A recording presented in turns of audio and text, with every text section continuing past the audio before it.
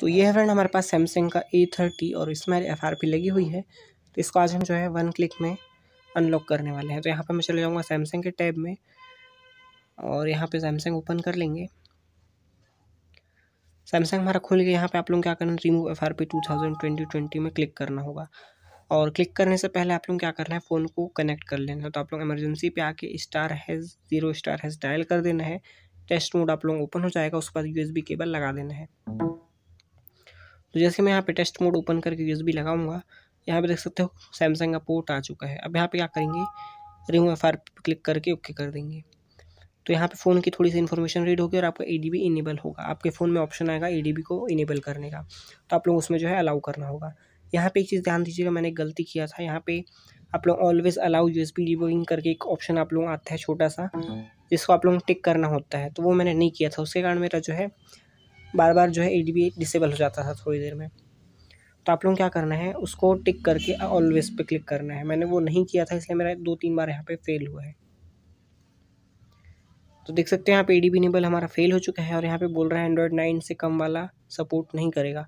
तो हमारा फ़ोन तो एंड्रॉयड टेन है। तो यहाँ पे देख सकते हो फेल हुआ, पर यहाँ पे अलाउ का आ चुका है। मैंने अलाउ कर दिया और मैंने उसमें टिक नहीं किया, ये मैंने भूल गया था। एक बार फिर से हम यहाँ पे जो है अपना फ़ोन कनेक्ट करेंगे और देखते हैं इस बार क्या होता है। तो फ़ोन को हम निकाल के वापस लगाएँगे।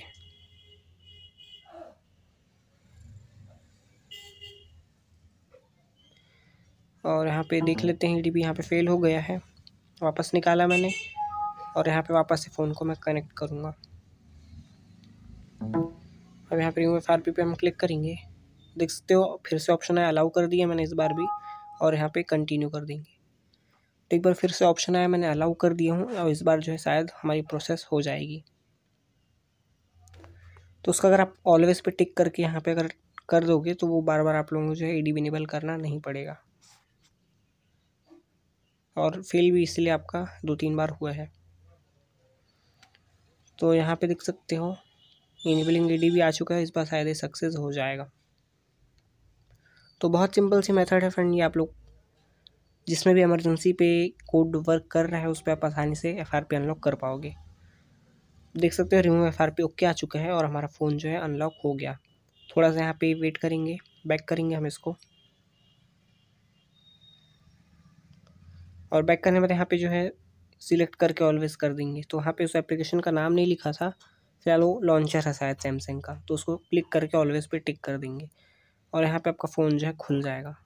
जैसे कि आप यहाँ देख पाओगे हमारा फ़ोन जो है अनलॉक हो चुका है। तो इस तरीके से आप जो है ई थर्टी के एफ़ कर सकते हो। मिलते हैं नेक्स्ट वीडियो में।